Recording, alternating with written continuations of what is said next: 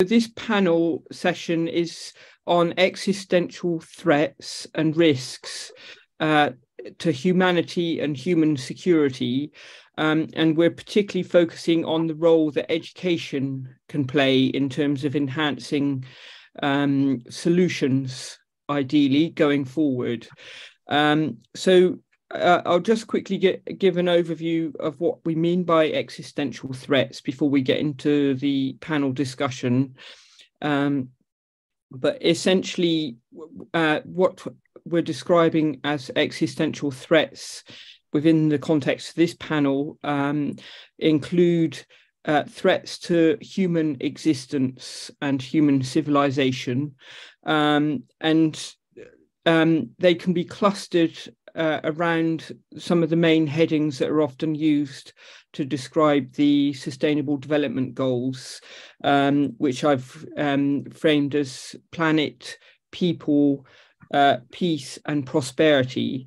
So, um, so for example, uh, under planetary threats to uh, human existence. We can include things like climate change and biodiversity loss, as well as um, things like uh, meteorites um, or uh, mega earthquakes as well. Um, whilst people um, include things like uh, pandemics, uh, whether they're um, from uh, nature or from or synthetically or genetically modified. Um, and then peace is uh, more obvious in terms of it's related to wars, particularly uh, nuclear annihilation. Um, and prosperity, particularly this includes things like um, the, the threats of uh, artificial intelligence um, and also uh, unsustainable growth um, and widening inequalities. Um, we can frame uh, existential threats in a sort of linear fashion, but more significantly going forward is how they interact and how they interrelate. And these have, in, in that context, they've been described as um, the growing threats within the context of what's called a polycrisis, which no doubt we'll hear a little bit more about from, especially from Mike um, in, in, the panel.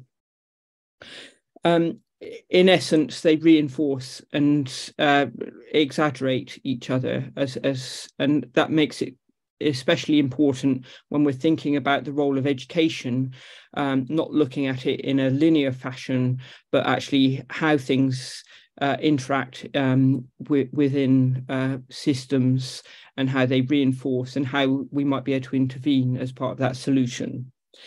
In terms of education, just to clarify, the scope of education is not just school education. We're looking at education across the life course, um, from early years, primary, secondary, tertiary education, um, including uh, research institutions and lifelong learning.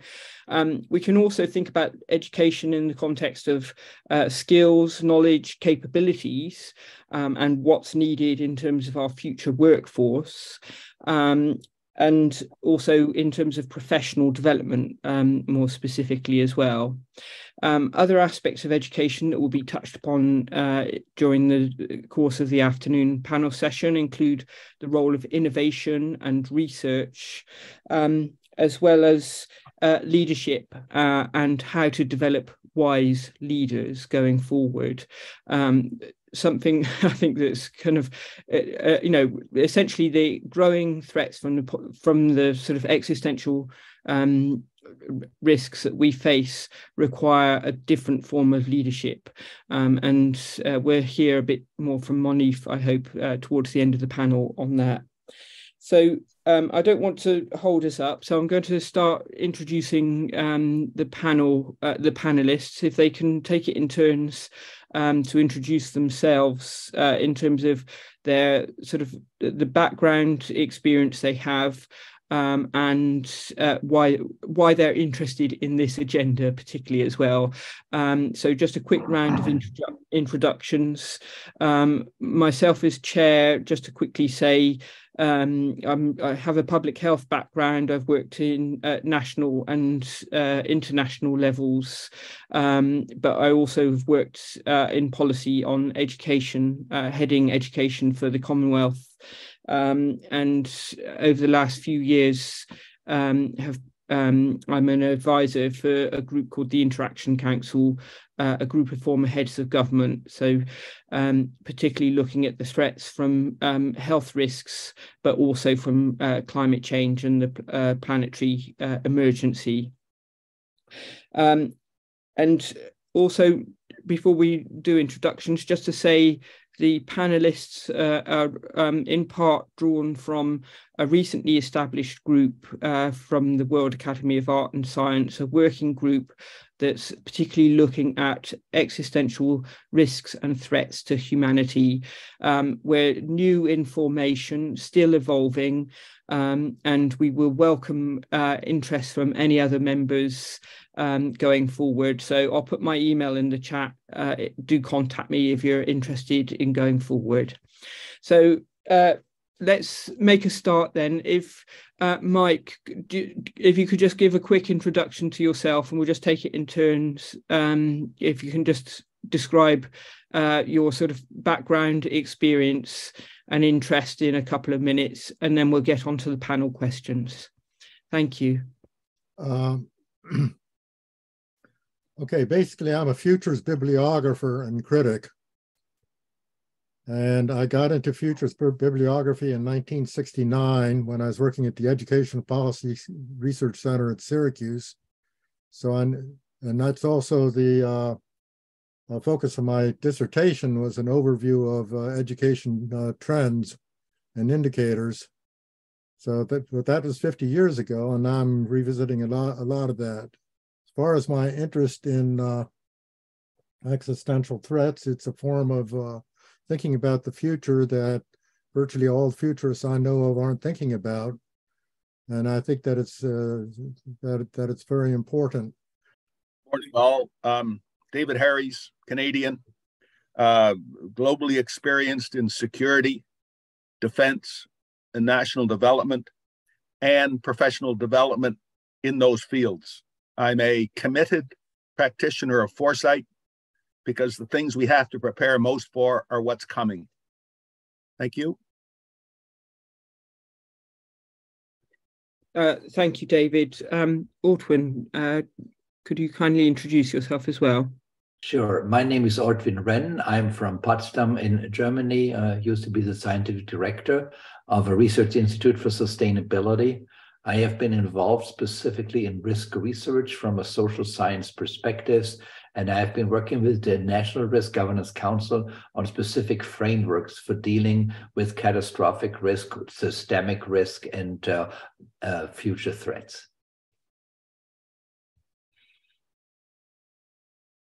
Uh, thank you very much. And Thomas. Yeah. Hello, everybody. I'm Professor Thomas Reuter. I'm a research fellow at the University of Melbourne in Australia, but currently based in Germany. I'm an anthropologist, um, work in Asia and uh, especially Indonesia. I've had uh, research on many topics, but in recent years, it's more and more on environment and specifically on food systems, their resilience, and the risks that are, uh, we are facing uh, when it comes to um, food security. And uh, I'm also a trustee and executive member of the World Academy.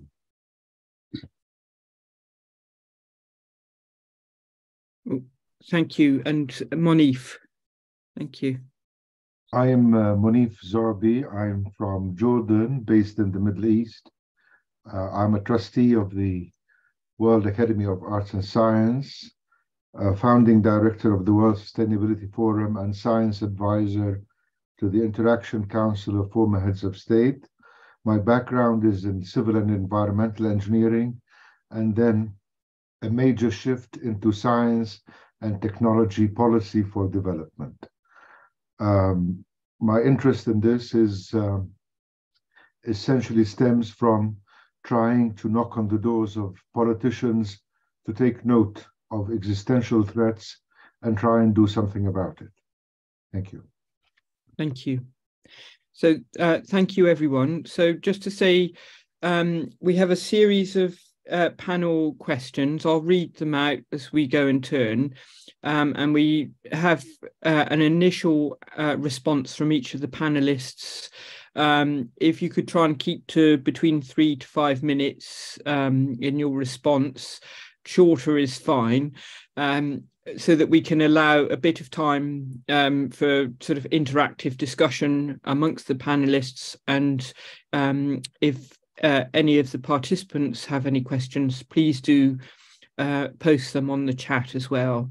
Um, and do raise your hand uh, to interrupt as well if you if you've got any questions going forward.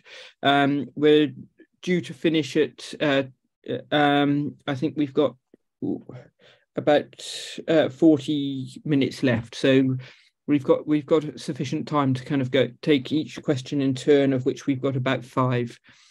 Okay, so um, Mike, uh, you're the first respondent, and the question um, to to focus on um, in the first instance is how should education change in order to address existential threats? A small question for you, and uh, I know you've got a very full answer. Please go ahead. Uh, Okay, I, I prepared some comments before this, uh, uh, in which I had uh, five headline uh, headline comments. That uh, first, the overlap, acknowledge the overlap and potential reinforcement between human security and the SDGs. And I think that's a no-brainer, but a lot needs to be done on that. Secondly, I think it is essential. I would argue that uh, everyone should acknowledge the evidence-based dark side of uh, aspirational comments, uh, such as uh, frequently made like this morning. And difference between polycrisis, which is in the present, and existential threats, which are either in the immediate future or, or far off. Uh, now, to address the question specifically, how should education change? It should be how should our thinking about education change?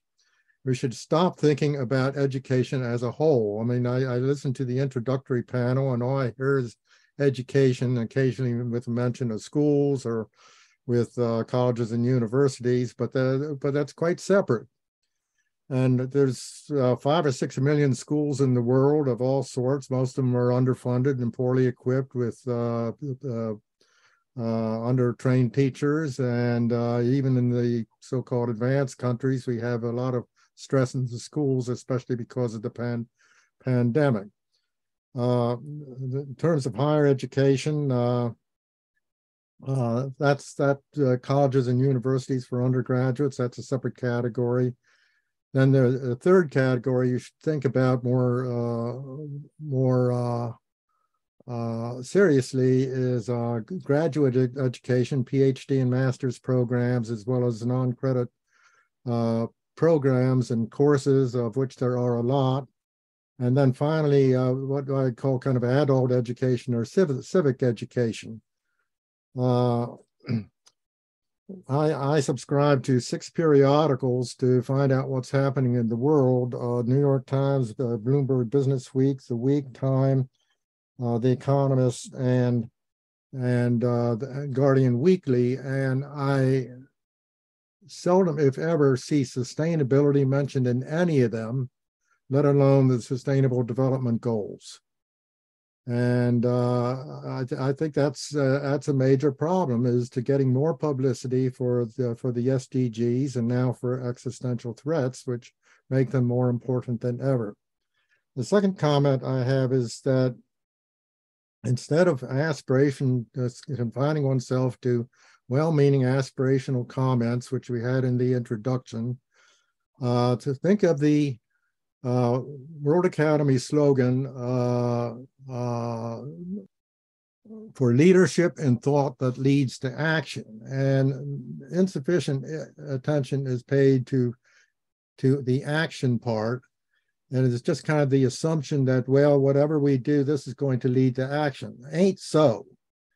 Okay, what you have to do is, uh, in addition to the aspirational comments of what we ought to have done, you need to have the grubby empirical work of what is being done and where and how you can help it along.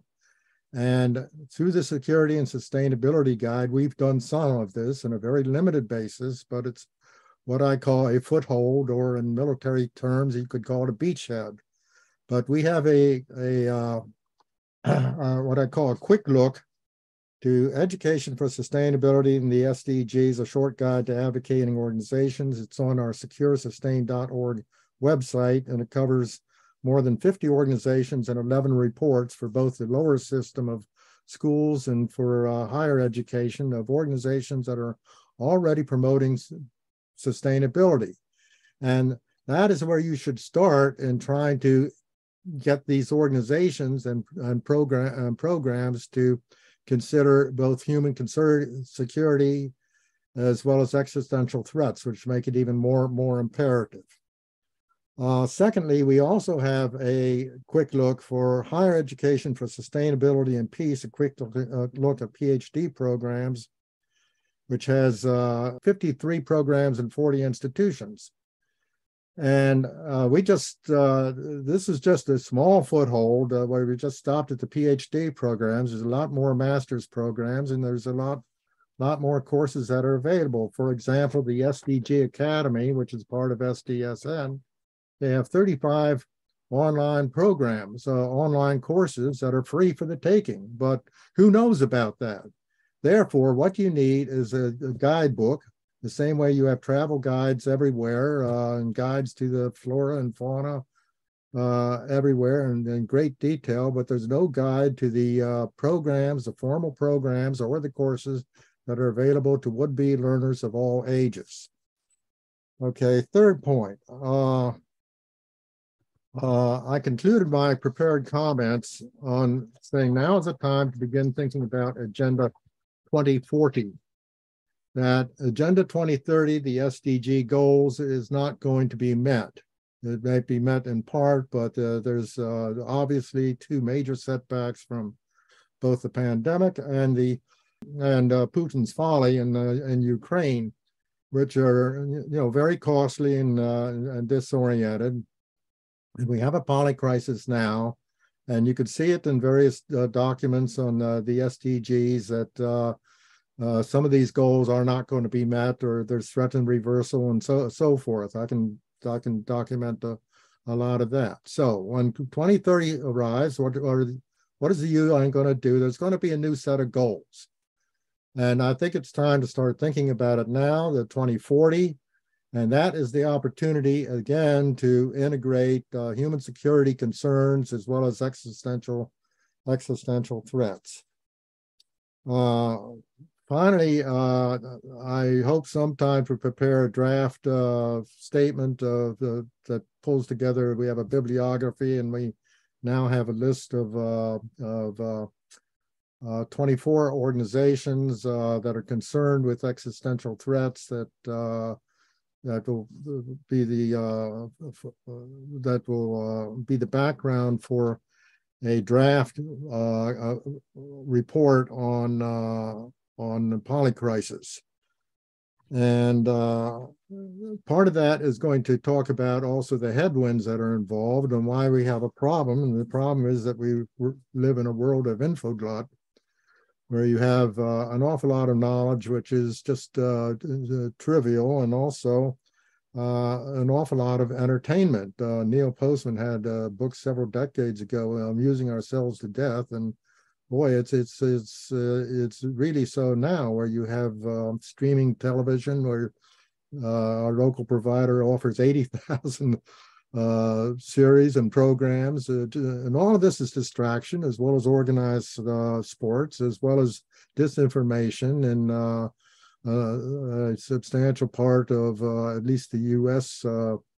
voting public that wants to quote unquote, make America great again, which is an empty, uh, stupid, empty slogan. So uh, then there are other problems also in there, which I will get into.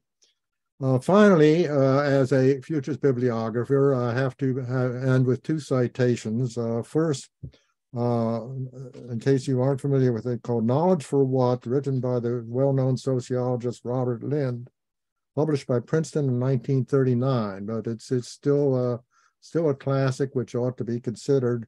And then for those that are concerned about the curriculum, this is a relatively recent book. This is only only 33 years old, uh, calling Rethinking the Curriculum Toward an Integrated Interdisciplinary College Education. And that's the place to start right there. It has uh, wonderful essays by the late Hazel Henderson, uh, by Robert Costanza, who's a leader in the ecological economics, which uh, SDSN has uh, yet to understand, by Frances Moore Lappé, by Johan Galtung, Visioning a Peaceful World, by Russell Peterson, who asked why not a separate college of integrated studies, but this is the place to go. Published by Greenwood Press in um, 1990. Okay, thank you very much. Thank you, Mike. That's really appreciated and a, a useful overview um, on the educational aspects. Um, are there any questions from or any other contributions from other panelists before we move on to um, hear from David?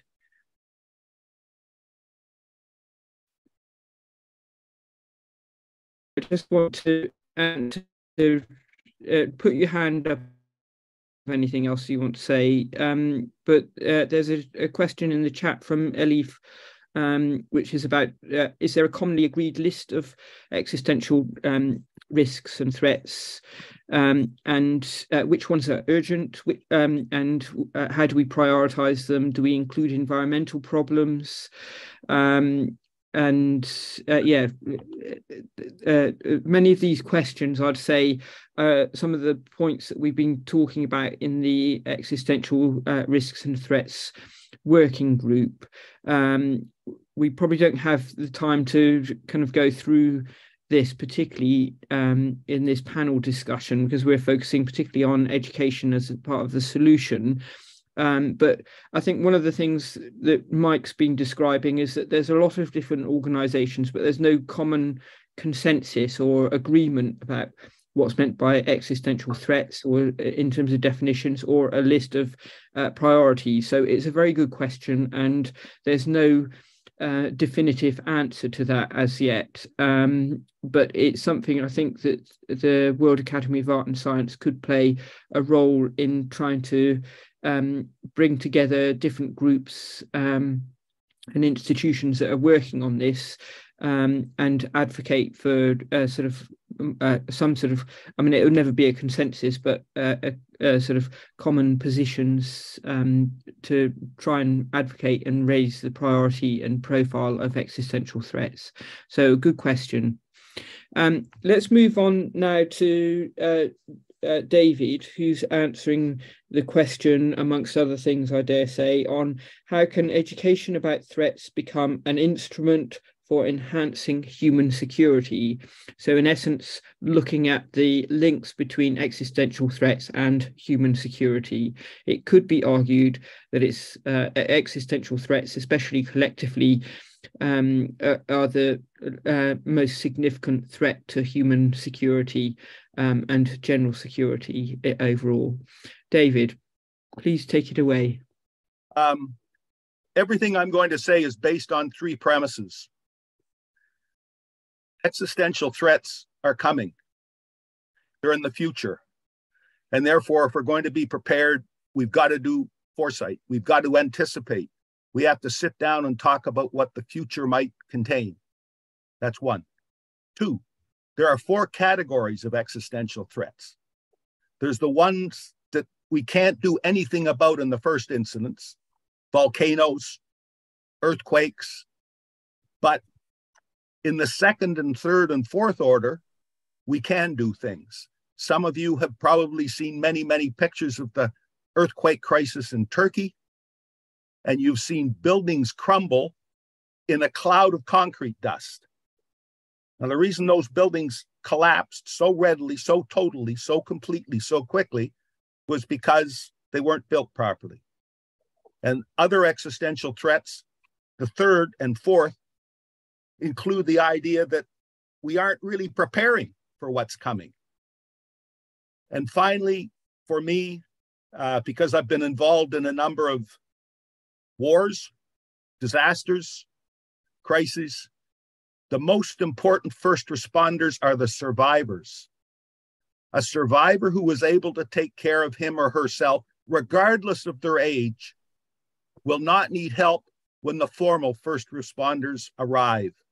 And that is a very valuable resource in times of real peril. And existential threats, of course, lead to a lot of damage, a lot of survivors. Now, the questions that we were all asked, I have very short answers. Uh, how education, number one, how education must change. It's got to stop being, and Michael has said this already, a box, a set, a time constrained linear progression. It's got to be a journey over life, learning for everyone. It's got to start at the youngest ages. And fortunately, uh, in institutions like the World Future Studies Federation, they have a large number of exercises that lead on to my second answer how education must change. Every set of curricula must include foresight because foresight is what will include, improve, enhance our human security. We'll be more confident that we've done some thinking about what we might face in the future. We will do it together because it will be inclusive throughout. And again, the World Future Studies Federation has a very significant list of foresight courses and programs that everybody can use. Risks, I risks are what threats are spawned by threats. They must be understood enough. We can't we can't solve a risk, but we can deal with them. They must be understood enough for us together, inclusively, to prepare to respond, recovery, and if we're lucky, to remediate. Uh, a new discipline, it's not about existential threats. It must be foresight in every curriculum. We must look ahead more than we already are doing. And my final point, because it upset me being in the military for a long time, uh, often quite famous for its anti intellectualism, uh, leadership and wisdom must not be institutionalized. They must not be institutionalized. And now, news yesterday, uh, the Guardian books, uh, existential threats, back to the idea of the first category of existential threats, the ones we cannot prevent. We cannot prevent. And they're the ones that we have to think hard about planning and preparing for because there will be second and third order consequences. And may I finish with a thing I just saw in the news today? Marc Andreessen, an individual who I'm sure uh, you all have heard about, very thoughtful gentleman, very powerful corporate gentleman, uh, just predicted that in a very short order, a university degree will cost a million dollars and a flat screen TV $100. That is a factor we've got to think about in education. Thank you. Um, thank you, David. That, that's a really succinct and helpful summary um, on what we need to do um, and the links with uh, human security. So, um, are there any uh, responses from panel members or contributions before we move to Ortwin? Um, I, I, just also want to highlight uh, Marta's uh, question in the chat, which I think um, may well be taken up uh, later in the panel, possibly by uh, Moneef under leadership. Um, it's essentially um, that there are international organizations already dealing with existential uh, risks and catastrophic th- uh, threats um, in some shape or form, but what are they missing? Um, and what's our advice to these organizations? Um, my initial response to this is the the focus historically has been reactive uh, rather than on prevention and preparedness. Um, but it, it, might be something that Moneef um, can also pick up on uh, with regards to leadership and governance. Um, so should we move to uh, uh, Ortwin, um, who's responding to the question about risks? So how will the study of risks be linked to the study of solutions to risks? Um, yeah, and well, Ortwin is a specialist in risks. So I'm looking forward to hearing from you. Thank you. Yeah, well, thank you very much. Um, yeah, I would first like to say a little bit about the type of risks that we're dealing with. And when we're talking about threatening risk than polycrisis and risks that lead to polycrisis, we normally think about four different properties that are interlinked. The first property is that these risks generally are transgressional in terms of districts, in terms of institutions, and in terms of geography. Very often they're transboundary. A second point is that these risks are very often stochastic. We don't know for sure if things are happening, but they can have a very large or not such a large extent, but they have the potential to be life threatening or even to make a whole system dysfunctional. A third property is that very often these risks have tipping points that for a long period of time nothing happens and if the tipping point is reached then the catastrophe occurs and then it's too late to do anything against it.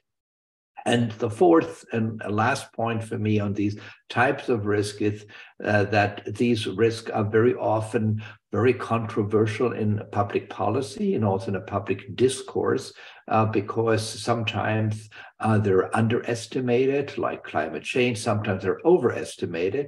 And uh, the reason for that is that a lot of symbolic connotations connotations go along with these risks, and they can have a very strong impact on public opinion and perception. Now, the question is, what does that all mean for education in terms of the four characteristics? The first one is that a disciplinary education doesn't help for dealing with these uh, systemic risks. We need interdisciplinary knowledge and interdisciplinary research because these risks very often are at the interactive stage between nature and society. So they may trigger natural hazards, or natural hazards may trigger uh, technological hazards. Uh, they all have an, some influence on behavior. So what we need to know is to get the social scientists, the natural scientists, and the technological sciences together. Otherwise, we will not be able to master these risks. The second point was the stochastic nature. Again, in education, we have learned that natural science give us determinate answers. Uh, so two and two is four, and not five and three. However, in lots of the risk business, we're dealing with triggers that lead to a whole uh, range of true answers in terms of probability estimates. Most people have a very hard time to deal with that. And we have seen in the uh, um, pandemic that uh, uh, if uh, you know you'd enter with vaccination and you say okay three or four people still got it then people say it's worthless however 97 out of 100 it worked and so, you know, given that people have a hard time to deal with probabilities, I think it's very important for education to make probability theory and stochastic reasoning a major element of our education, uh, because we will be more and more confronted with that kind of stochastic uh, responses uh, to specific triggers. The third thing is what I said, tipping points. And that again is a very problematic thing because in learning, we normally learn by trial and error. Also, our uh, economic system is based on trial and error. You go bankrupt and then you can start anew. Now, if there are tipping points, that type of learning is not very good because if you learn by trial and error, you get positive feedback for a long time. You do the same thing all over again. Then you reach the tipping point and then you can't learn anymore because you already run into the catastrophe. So, what we have to do in terms of education is to learn how to anticipate potential harm and do um, uh, measures before uh, actually uh, the crisis has come.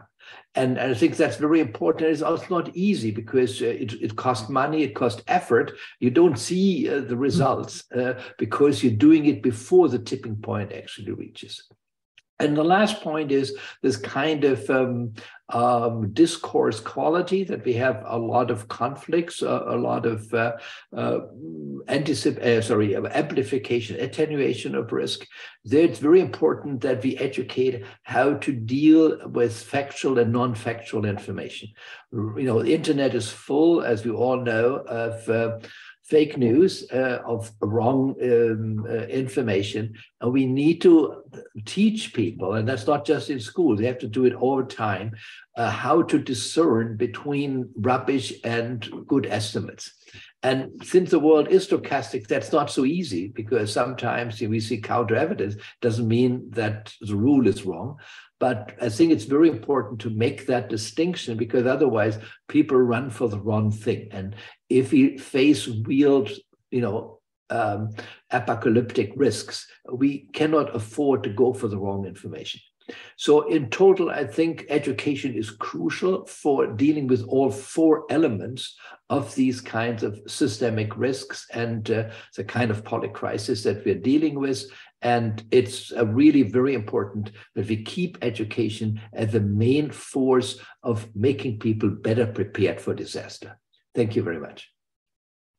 Thank you. Thank you, Ortwin. Um, a very succinct and um, precise overview of the sort of risk landscape um, and how we need to think differently and how education needs to um, adjust itself.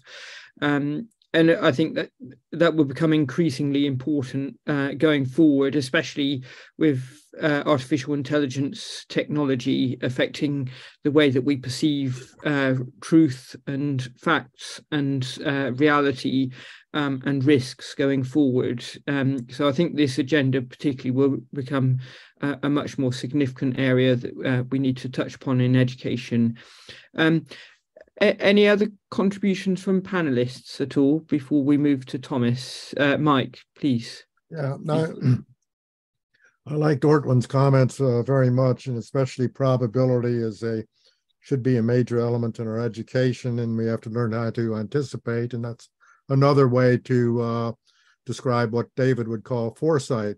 I just want to to uh, add a comment, kind of amusing, but it also opens up something interesting. And uh, several weeks ago, I received. Uh, where is it? yeah, I received uh, this mailing from the Cornell Laboratory of, of Ornithology, which, as far as I know, is a unique institution uh, for birds. And the uh, they want to get um, uh, some money from us, and they say birds at the tipping point need your help now. Mm-hmm. And when you read inside, then certain species of birds are endangered, whereas others, I believe, are not. But uh, that's just my just my rough rough guess. But it, uh, I'm just pointing out how this is used at the same time. This is uh, spreading knowledge and also mm-hmm. uh, for commercial purposes of trying to get money to some, support the ornitho- ornithology laboratory. yes. No, and Just I've about an hour away from where I, I live. I've even heard the um, use of by the um, uh, fossil fuel companies about uh, being under existential threat. So yes, there is an abuse of terminology. Um, oh yes yes anyway let's move to um, thomas who um, i think is going to give us a, a presentation about uh, biodiversity loss um, particularly in in uh, the kind of climate uh, crisis uh, reflecting um, as well a little on existential threats.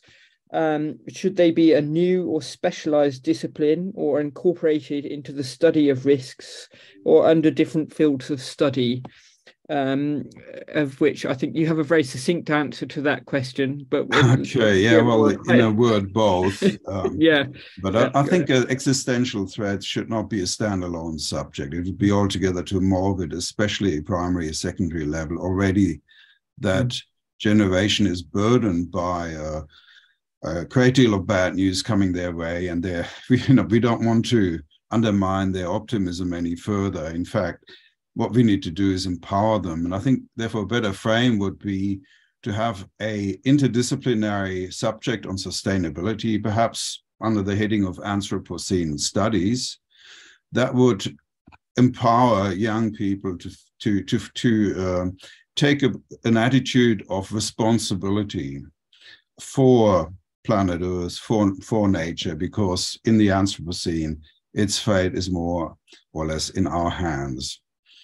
So uh, I wanted to talk about biodiversity because it's a, a problem that, or biodiversity loss, uh, the threat of catastrophic uh, disruption to the web of life, because it, it's a good example.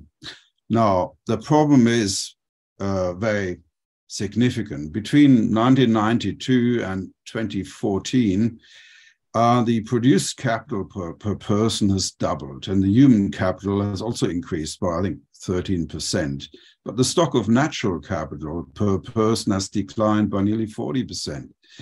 So we have this system where um, accumulating and human capital at expense of natural capital is, is what we consider to be the hallmark of economic growth and development. That's what it means. So we're, we're literally devouring the natural world that sustains all life. And while human numbers have exploded, especially since World War II, and also our per capita ecological footprint, uh, nearly all other life is dying away. So we're in the midst of one of the most severe and fastest mass extinctions in the history of the planet. For example, the domestic animals now, you know, raised for human consumption already outnumber wild mammals and birds by far. And second, um, what remains of one's majestic forests and other ecosystems, you know, are destroyed to produce arable land and get access to more raw materials. So similarly, our soils are being depleted, the oceans are on the brink of irreversible damage, and most importantly, climate change now severely pressures nearly all species, both marine and terrestrial, at a time when their survival is already under threat. Plastics and a cocktail of toxic forever chemicals have now permeated the food chain all the way into our very brains. In short, Ours is a life destroying lifestyle. It doesn't even deserve the word lifestyle.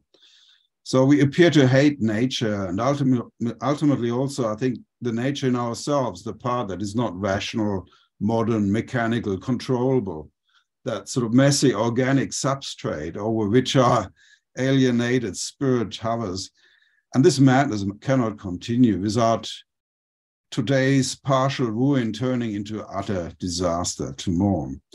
Now we have institutions um, like IPBES, for example, the Inter Intergovernmental Science Policy Platform on Biodiversity. Uh, and it issues some reports. Um, and indeed, you know, I've, I've been involved with that as a representative of the discipline of anthropology. Um, in its stakeholder group and also as a scoping expert for some of those reports.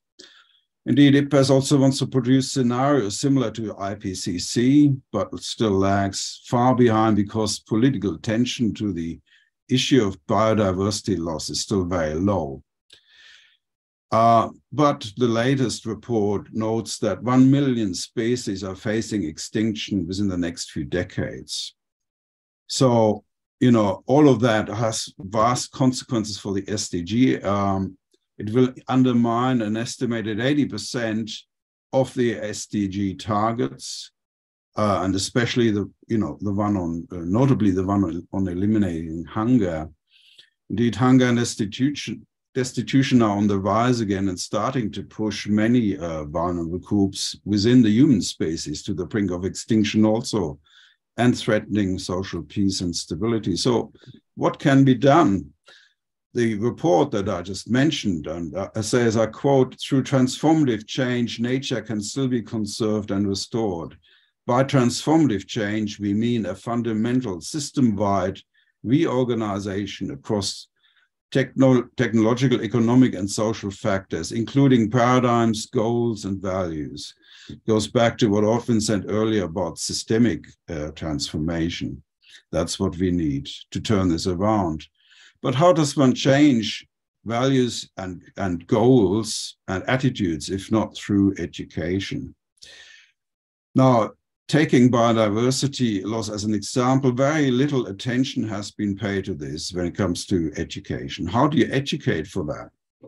For example, recently the uh, 2021 Dasgupta report in, on the economics of biodiversity, uh, which is very good in general. It has only a very tiny section at the end uh, with some uh, uh, notes on on education, how important it is, and all that. But it's just full of platitudes, and there's no usable suggestions.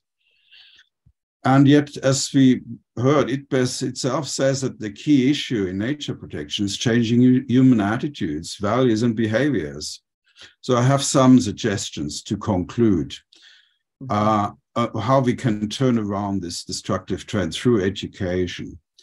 First, we need to critique Kant beliefs that our deliverance will take the form of a technotopia, which is the belief that is preached by the dominant modernist religion of today, uh, which sort of has it that all problems have technical solutions, when in fact it's technology that has caused many of the problems we now face, or our abuse of technology. Second, we need to create a vision of a new culture, one that is socially and ecologically sustainable. And we don't have that. We have to envisage it. Um, and for that, we need to encourage young people to use their imagination, to have the, the ability to imagine something that does not exist, Okay, this is contrary to the whole scientist sort of attitude that all that matters is things, is facts, the real, the concrete, what you can measure, observe. No, this is about what you can create, what we can create. And if we don't do that consciously, we'll, we will continue unconsciously to create this destruction, uh, a future that is full of destruction. And that third uh, suggestion is education in nature.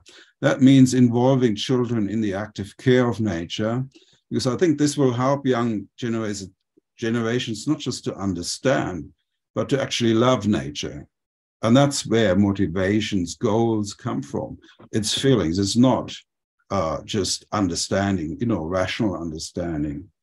Fourth, it's about localizing conservation. Uh, a, a, large survey was recently conducted on the impact of environmental education by Ardoin and Bowers and Gaillard in 2020. And they discovered that engaging with local issues or locally relevant dimensions of broader global issues is the best pathway for education. The solution is for students to collaborate with engaged scientists, local resource, ma resource managers, and community organizations. And my final suggestion, um, I think um, a new approach in education would entail leveraging the fact that schools are today's major community hubs. It's how people get to know each other through their children, uh, through the school community. Therefore, schools have influence that reaches far beyond the education of children, and they should use this influence to lead local sustainability action. It is act action that children imitate, not talk. And if young people take action themselves, they themselves will be examples and will take whole communities with them, I, I suggest. And there's some very good examples of how that can work. Thank you. Thank you. Thank you, Thomas. Um, yeah, some very profound comments there for us all to digest as well. Um, and I think some good pointers for Moneef. Um, we've uh, we're already at time, so I'm hoping we're okay to have five minutes as long as we're closed before the next panel session um, goes live. Uh, Moneef, in in a few minutes, can you um, give some high level reflections on the implications for leadership, especially wise leadership? Um, you might want to touch upon the importance of values as well. So thank you. Thank you very much. Uh, here it is, my uh, policy flavored intervention, uh, I very quickly say that over the last 100 years, we've had four world wars. There was the First World War, the Second World War, the Cold War, and then the global war on COVID 19. Now, the last of these wars, uh, uh, according to James Lawson, who is a senior fellow at the Adam Smith Institute and the author of their recent paper, Life Without COVID, whereby he says COVID is no longer a novel virus and we enjoy substantial defenses. Now we need the courage to forge a path back to normality. We have won the war, let's win the peace. Now, this is my the security element of my two-pronged proposal. The second element mentioned already by the previous speakers, we have addressed the MDGs 20 years ago, and we've addressed, we are addressing the SDGs, and we're thinking of the world post the 2030 Agenda on Sustainable Development. Now, this is the development uh, uh, element. Now, uh, going back to the global helicopter view, uh, when the world was standing up to the COVID 19 pandemic, the UN Secretary General advocated that the world must turn to science and solidarity, not least to combat the spreading of the global misinfodemic. At the same time, we've witnessed how political leaders only paid lip service to science based advice and pushed their countries to the brink of catastrophe. Thus, here again, educating the leaders would have helped, particularly on issues uh, such as the pandemic and uh, uh, the broader issue of climate change. Now, to manage the socio-economic and socio-political fallout in our post-COVID-19 world, polity, our governance mechanisms need to be educated and informed. It also should focus that is our approach on empowerment through education as a foundation of national and international security. We will still witness extraordinary events with polities struggling to maintain social order, upholding security while generally adopting good governance practices. Realizing long term soft security in most countries can only be achieved by assuring sustainable and equitable socioeconomic development and the promotion of dialogue. Dialogue at the regional level has to gain has to again become the norm in the face of existential threats regionally and globally. A few weeks ago, China officially launched its Global Security Initiative concept paper. The concept paper expounds the core ideas and principles of the GSI, identifies the priorities, platforms, and mechanisms of cooperation, and demonstrates China's sense of responsibility for safeguarding world peace and firm resolve to defend global security. I think such an, such an initiative must be looked at carefully and possibly developed further with the help of international stakeholders. The spirit of the 2030 Agenda for Sustainable Development has to prevail again. We're halfway through.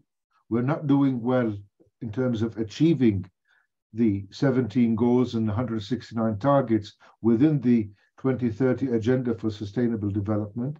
So we have to revisit the agenda to factor in new health and globalization parameters, as well as elements that have come to undermine the foundations of contemporary society, with its rampant inequality and rising injustice, and which threatens the very survival of our species.